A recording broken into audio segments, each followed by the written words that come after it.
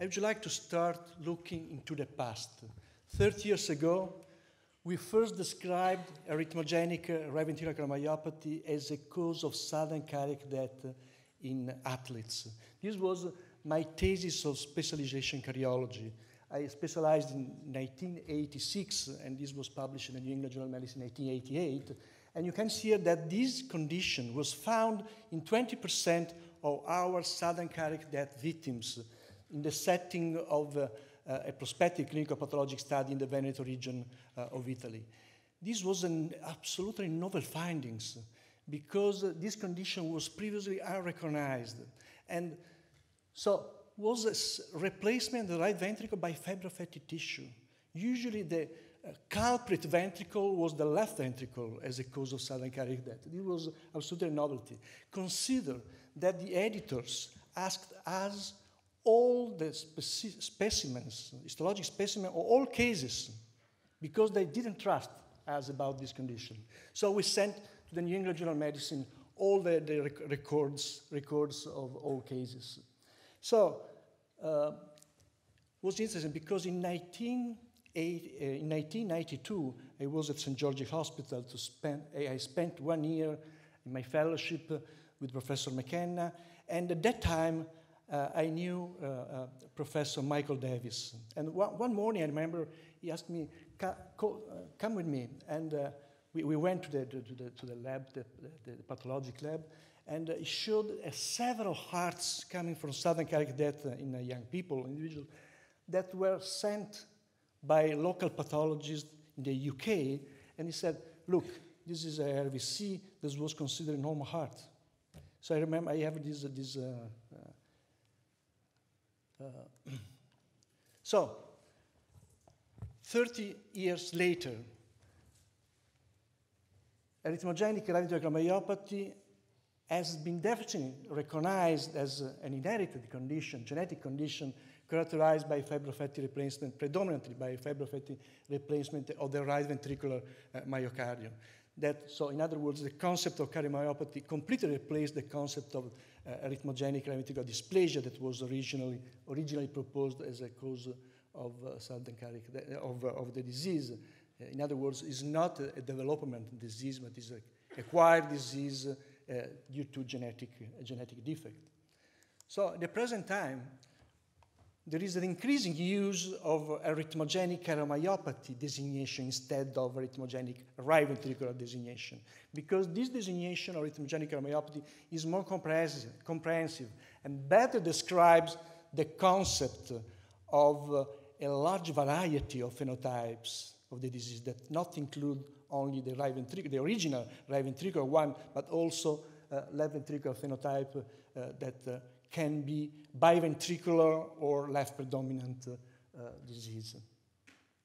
So at the present time, we use the terms arrhythmogenic cardiomyopathy to define a genetically determined heart muscle disease, in other words, a cardiomyopathy that is characterized by pathologically by fibrofatty replacement of both the right and left ventricle. You can see here that the left ventricle involvement is very similar, as showed Mary previously, very similar to the right involvement that is characterized by fibrofatty, by replacement coming from the epicardial layer of the, of the, of the wall and progressing to the subendocardium. And clinically, this condition is characterized, mostly characterized by ventricular tachycardia and arrhythmic sudden death that are the result of the fibrofatty scar of the myocardium. So in 1994, uh, were proposed the original International Task Force criteria for diagnosis of the disease. According to these uh, 1994 criteria, the diagnosis was achieved using a polyparametric, multiparametric approach uh, based on a series of criteria coming from different uh, groups of uh, clinical features, including family history, uh, ECG depolarization, repolarization abnormalities, arrhythmias, global and regional dysfunction, and structural alteration of the ventricle, or the right ventricle, and uh, uh, fibrofatty replacement of the myocardium on endomyocardial biopsy uh, as uh, criterion for tissue characterization of wall. So the diagnosis was reached when two major criteria, one major and two minor or four minor criteria were fulfilled according to these criteria. So you can see here some uh, uh, features, diagnostic features, clinical manifestation the disease that uh, encompass uh, repolarization abnormalities, inversion right precordial leads, arrhythmias with the left bundle branch block morphology indicating the origin from the, uh, the right ventricle, depolarization abnormalities, mostly epsilon waves in right precordial leads, morphofunctional right ventricular abnormalities, and fibrofatty myocardial replacement seen at in vivo at endomyocardial biopsy evaluation. So in 2010, these diagnostic criteria were revised. This was the result of a consensus conference held, we, held in, uh, in uh, Denver, in the United States, and uh, you can see here that uh, uh, these criteria were modified, the criteria were modified with the aim to provide quantitative criteria for right ventricular dilatation dysfunction by different imaging techniques and histopathologic changes at endomyocardial biopsy, to enhance the diagnostic specificity of morphofunctional right ventricular abnormalities, to differentiate the diagnostic specificity of right ventricular arrhythmias according to the morphology site of origin, to recognize the specificity of right precordial T waves inversion and QRS prolongation, and most importantly, to add molecular genetic criteria for increasing diagnostic sensitivity for ARVC. In other words, these criteria were reviewed and uh, uh, designed to uh, diagnose the original right ventricular phenotype.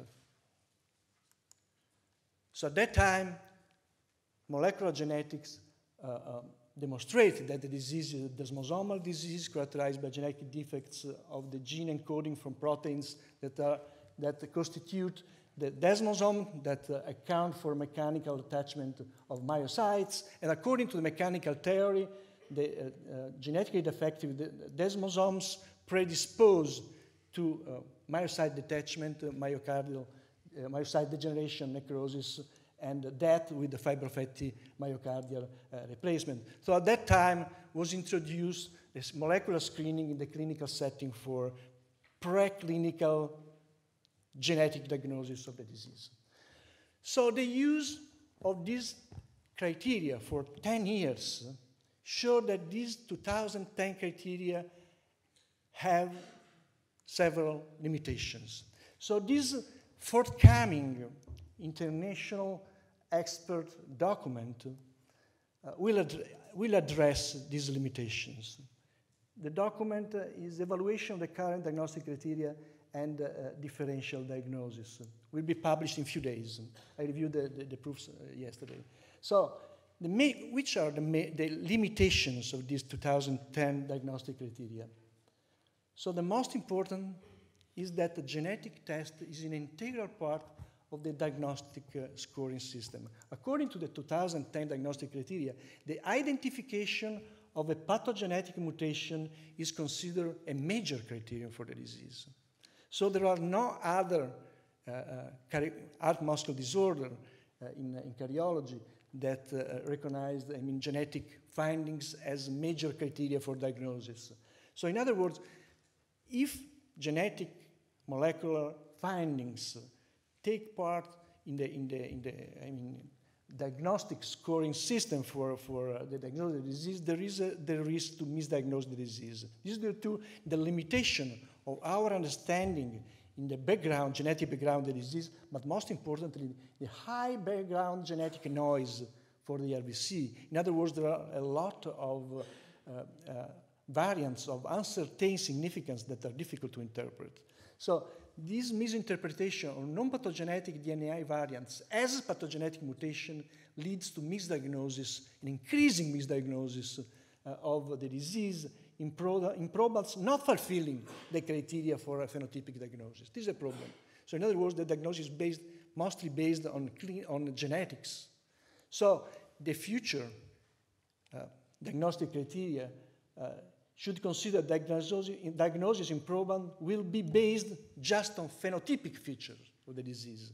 Genotyping is important, very important, for assessment of the genetic etiology of the disease for preclinical diagnosis in relatives cascade family screening, and prognosis.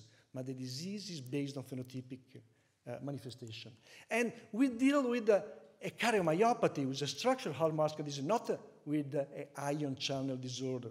So it's not acceptable that ARVC, longer acceptable, that ARVC diagnosis is fulfilled in the absence of structural functional ventricular abnormalities in a proband.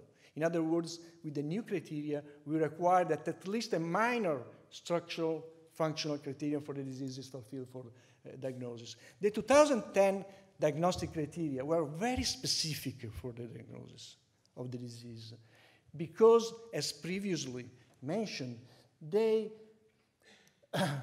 consider that the diagnosis, a major or minor criterion for diagnosis, is due to the result of combination of dilatation slash, slash dysfunction plus, very importantly, wall motion abnormalities. That means right ventricular akinesia, dyskinesia, or aneurysm, not hypokinesia. So why this is important, the, the, these wall motion abnormalities? Because if you consider just right ventricular dilatation, as previously mentioned, stressed, this uh, right ventricular dilatation, the echocardiography, is not specific. Can be shared by other conditions, such as, for example, athlete's heart in athletes, in endurance athletes. What instead is specific is that uh, in the right ventricular flow tract of these individuals, there is an aneurysm in the right ventricular flow tract. And uh, this, uh, uh, at the basis of this aneurysm, there is late gadolinium enhancement. This is very important. It's very important the combination of the wall motion abnormalities and the underlying late gadolinium enhancement that means fibrofatty myocardial replacement in this disease. So this is the highly, high, high specific, uh, uh, I mean, combination for diagnosis. And unfortunately, in the 2010 diagnostic criteria, late gadolinium enhancement findings were not included in the diagnostic criteria. So this was the third major limitation. Tissue correlation images findings by CMR were excluded from diagnosis in the previous diagnostic criteria. And this is very important because wall motion abnormalities, akinesia, dyskinesia, aneurysm, reflect the underlying fibrofatty myocardial replacement that is the hallmark of the disease. So the more specific, uh, I mean, clinical, I mean, uh, uh, structural abnormalities that suggest, that lead to the diagnosis of the disease. And at that time, the tissue characterization was left just to endomyocardial biopsy because at that time we were uh, not so, uh, I mean, we, we didn't trust so much the legal enhancement interpretation. But now, with the progresses in the, in the interpretation of the legal enhancement uh, images findings, tissue gradation for fibrofatty myocardial replacement must be routinely provi provided by uh, cardiac magnetic resonance and indicating no probands and family members because in the only way to characterize the phenotype of the disease because allow to identify late gadolinium enhancement not only in the right ventricle but also in the left ventricle that uh, as we'll see uh, uh, cannot can be missed by echocardiography. So the fourth point is that uh, the 2010 diagnostic criteria lack of specific, specific diagnostic criteria for left dominant disease variants. So because autopsy investigation, genotype phenotype correlation study, but most importantly, the increasing use of contrast enhanced cardiac magnetic resonance led to the concept that uh, the original right ventricular phenotype that is characterized by isolated or associated with the minor left ventricular involvement is is associated. I mean, there are other important, uh, I mean, uh, phenotype, phenotypic variants that instead are characterized by biventricular phenotypic involvement, the left ventricular involvement, and the right ventricular involvement, and the left dominant phenotype that is characterized by early and prominent left ventricular manifestation. There is a fourth phenotype. This is a study, a long term outcome study on individuals carrying desmosomal gene mutations. We excluded those with ventricular tachycardia or cardiac arrest. And we followed these individuals for a long time. The mean follow up was 8.5 years. So you can see that the rate of, of complication, major arrhythmic complication, was 0.9% uh, per year. So most importantly, we observe that major complication occurred only in those individuals with a definite diagnosis of the disease, so with a well-expressed phenotype of the disease, and particularly in those with risk factors, that means syncope, non-sustained ventricular tachycardia, ventricular, uh, systolic ventricular dysfunction, in all but one. This was a 15-year-old male victim of sudden cardiac death that two months previously underwent screening in the setting of a family evaluation because this family was uh, uh, a carrier of desmoplakin gene uh, mutation. So this, this 15-year-old uh, male died suddenly despite, the electrocar despite an electrocardiogram and an echocardiogram normal. So the, the first reaction was he died in the absence of structural abnormalities, was a primary electrical heart disease due to, I mean, uh, uh, desmoplakin uh, uh, mutation that in, its, in itself can account uh, for, for electrical instability, but the autopsy showed the reason. So these individuals showed a segmental scar that was confined in the subepicardial layer of the left ventricular wall. And this scar usually is under the power resolution power, the resolution, resolution power of the echocardiography. And uh, so it was missed by the routine uh, screening. So instead, the scar could be evidenced, clearly evidenced by cardiac MRI with the late gadolinium enhancement in another family member of the same family with the, uh, that was uh, an asymptomatic 23-year-old family with a desmosomal with a desmoplakin gene mutation. You can see here exactly the same scar in the subepicardial uh, layer. So this is the, the, the, the, fourth phenotype. It's an isolated left ventricular scar that can be an equivalent, a phenotypic equivalent of the, of the disease. So this scar is an increasing cause of sudden cardiac death uh, in athletes in our experience. And uh, you can see some example of this scar uh, uh as evidenced by cardiac MRI. And most importantly, this scar is missed by echocardiography because it's segmental, involves just the outer layer of the left ventricular wall and spares the subendocardial muscle that mostly contributes to contractility. So the echocardiography usually is not seen. Uh, and usually also is uh, electrocardiographically silent. Only 20% of affected individuals show T-wave inversion lateral leads or, or, or small uh, QRS amplitudes in limb leads. So this was a, the cause of sudden cardiac death in an hour soccer player. Uh, you remember, Sanjay, we were, we were in Spain when we received the notice that uh, there was a sudden cardiac death in this uh, Italian soccer player.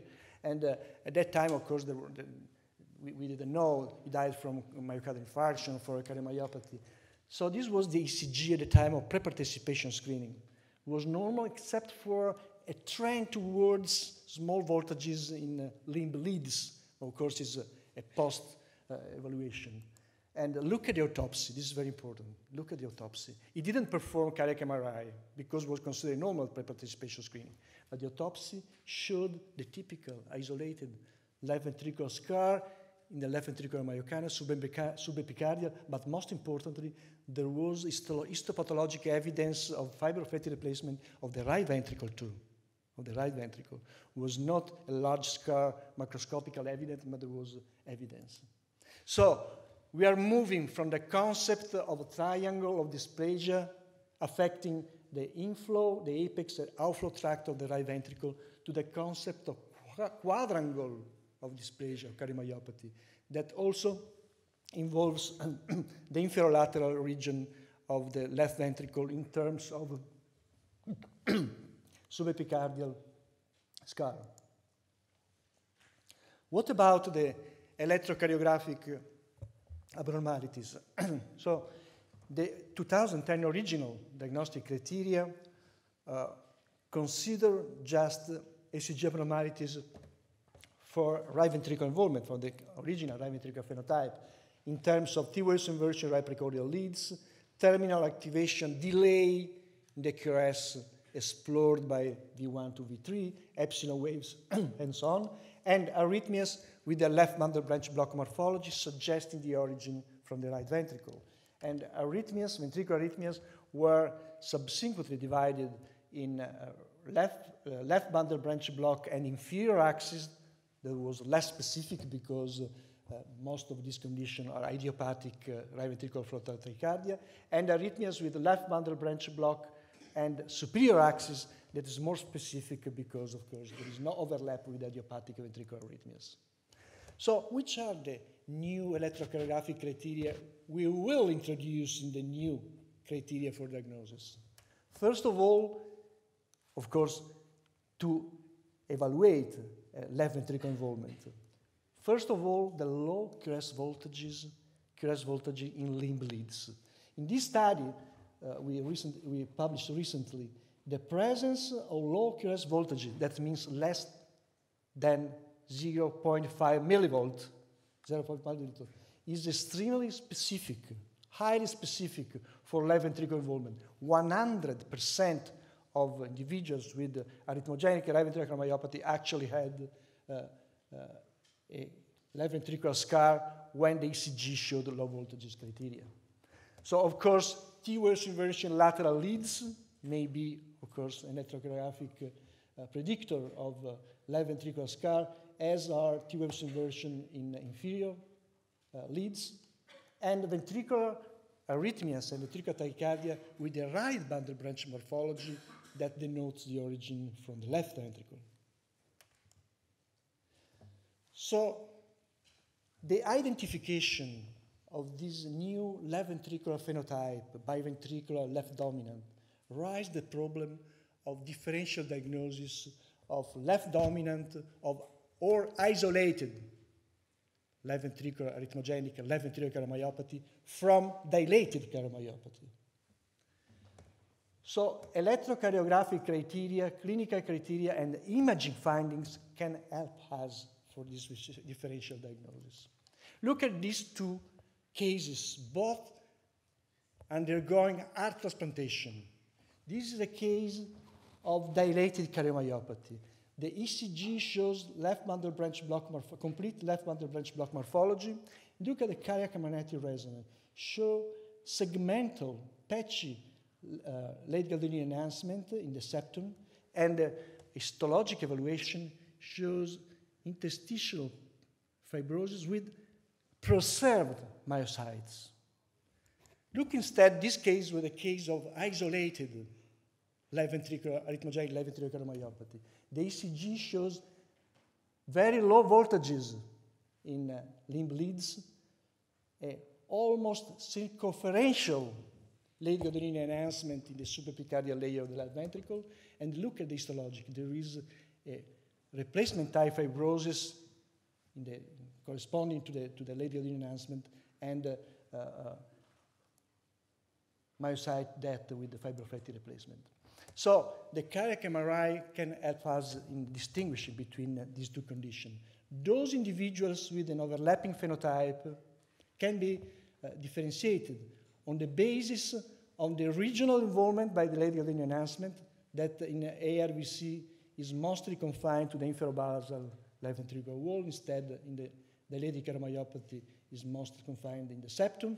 And uh, in the transmural, uh, uh, in the transmural involvement, that is mostly subepicardial in RVC, while it is uh, mid-mural, mid-myocardial in uh, dilated cardiomyopathy. Also, the amount of late gadolinium enhancement, that is the amount of left ventricular fibrosis, can distinguish. You can see in, in our experience, in dilated cardiomyopathy, the amount of left ventricular fibrosis is significantly lower compared with arrhythmogenic right ventricular cardiomyopathy. More than 20% of fibrotic replacement of the uh, ventricular, left ventricular mass is extremely specific for arrhythmogenic right ventricular cardiomyopathy. And but most importantly is the relation between ejection fraction, systolic function, and amount of left ventricular fibrosis. This is a case of dilated cardiomyopathy. There is a severely dilated left ventricle with important, significant left ventricular systolic dysfunction. This is a dilated cardiomyopathy. Look at the late gadolinium enhancement images. There is patchy fibrosis in the mid myocardium. So, in other words, is, there is a disproportion between the dilatation dysfunction of the left ventricle and the fibrosis. Because in dilated cardiomyopathy, the primum movens is the contractile, dysfun- contractile dysfunction of the myocyte. And then from the, uh, fr- uh, the, the, the Frank uh, Starling law, the ventricle dilated, uh, dilates and so on. So look instead at the case of arrhythmogenic uh, cardiomyopathy. Here you can see here there is hypokinetic, non-dilated left ventricle. Hypokinetic, non-dilated left ventricle. And if you check the post-ventricular enhancement images, you can see there is a, a large amount of ventricular fibrosis. In other words, here, ventricular fibrosis is the cause, not the epiphenomenon of left ventricular dysfunction. Now, usually doesn't induce uh, significant left ventricular dysfunction because it's confined to the subepicardial layers. So look, if you compare the left ventricular ejection fraction, if you relate left ventricular ejection fraction, left ventricular late enhancement in arrhythmogenic right ventricular myopathy, you can see that there is a perfect correlation. While if you perform this correlation, dilated cardiomyopathy, there is not, because fibrosis is not the cause, but is the consequence of left ventricular dysfunction.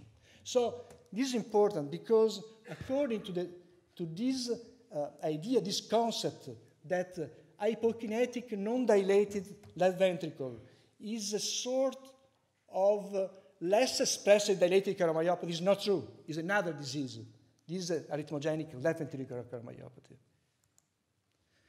So, few more slides, a few minutes to conclude this concept is very important. So, in this paper, we address the concept of arrhythmogenic cardiomyopathy, and uh, we so this is the arrhythmogenic uh, cardiomyopathy phenotype, as we said. It's characterized by mild ventricular dilatation dysfunction with prominent, prominent myocardial fibrosis, legal enhancement, and propensity to malignant ventricular arrhythmias. This phenotype is not exclusive of desmosomal arrhythmogenic ventricular cardiomyopathy, but by analogy with the, the classification of dilated cardiomyopathy or hypertrophic cardiomyopathy, we can, we can consider also for this condition, arrhythmogenic cardiomyopathy, a more comprehensive etiologic classification of the disease. So you can see here that 40, 40 50% of the disease is induced by, uh, uh, is desmosomal, is due to genetic defects of the gene encoding for desmosomal proteins. But there is a 20, 30% of non-desmosomal forms that can due to non-desmosomal gene mutation, can be occur in the setting of neuromuscular conditions, can occur as a consequence of the inflammatory cardiomyopathies such as myocarditis, chronic myocarditis, or sarcoidosis, can be the result of a cardiomyopathy, the so-called arrhythmogenic dilated cardiomyopathy, may be congenital, may be infective. So these are examples of uh, a lamin A/C cardiomyopathy. Look at the same fibrosis amount of large amount of fibrosis, of filamin C-related cardiomyopathy, two father and son died suddenly with the same circumferential uh, fibrosis. Look at phospholamban cardiomyopathy with the same phenotypic uh, features of the arrhythmogenic cardiomyopathy. Look at this uh, Becker disease, uh, uh, post-myocarditis, scar, and uh, arrhythmogenic uh, cardiomyopathy, desmosomal plaque-related cardiomyopathy. You can see here, the same aspect of the fibrofatty replacement in the left ventricular wall. And finally, cardiac sarcoidosis that can reproduce the phenotype of the disease. So, which are the clinical implications of this more comprehensive etiologic classification? That this classification include conditions, arrhythmogenic cardiomyopathies, that are associated with a distinctly higher risk of sudden cardiac death. The pathogenesis of life-threatening ventricular arrhythmias extends beyond the severity of systolic ventricular dysfunction, being strongly related to the large amount of myocardial fibrosis, which is the independent uh, arrhythmogenic risk factor. As a corollary, ICD therapy for primary prevention sudden cardiac death is indicated early in the disease course, regardless of the etiology, when ventricular systolic function is still relatively well preserved. This is my last slide. So experience with the 2010 International Force criteria reveals significant limitations that need to be overcome by future revision Proxen. next of the diagnostic approach. 2020 upgrading of the International Task Force criteria should take into account the following points, issues. Limitation of the current understanding of the genetic background of the disease that translates into the risk of misdiagnosis if molecular genetics test is an integral part of diagnostic scoring system. Advances of technology and improvement on interpretation of tissue characterization images by cardiac MRI, which has become the leading imaging test for assessment of the disease phenotype, and the broader spectrum of the LVC phenotype, which includes left dominant disease variants requiring specific diagnostic uh, criteria. Thank you for your attention.